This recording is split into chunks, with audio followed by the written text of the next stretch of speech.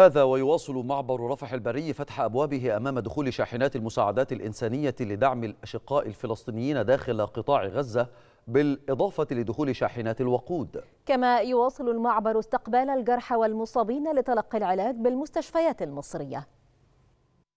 200 يوم مرت على عدوان الاحتلال الإسرائيلي على قطاع غزة. مدة طويلة لم تتوانى مصر لحظة خلالها عن دعم الأشقاء الفلسطينيين من خلال هذه البوابة التي لم تغلق يوما واحدا. فكان معبر رفح البري النافذة الإنسانية لإغاثة من تبقى على قيد الحياة. فهذه بوابة دخول شاحنات المساعدات حيث دخل من خلالها آلاف الشاحنات والأطنان من المساعدات الغذائية والطبية والإغاثية منذ الحادي والعشرين من أكتوبر الماضي وبلغ حجم المساعدات المصرية منها أكثر من 80% وتلك بوابة خروج المصابين والجرحى والتي كانت شاهدة أيضا على خروج آلاف المصابين لتلقي العلاج بالمستشفيات المصرية. لتبقى هذه البوابة شاهدة على الملحمة المصرية تجاه الأشقاء الفلسطينيين. وبعد مرور 200 يوم على عدوان الاحتلال الإسرائيلي على قطاع غزة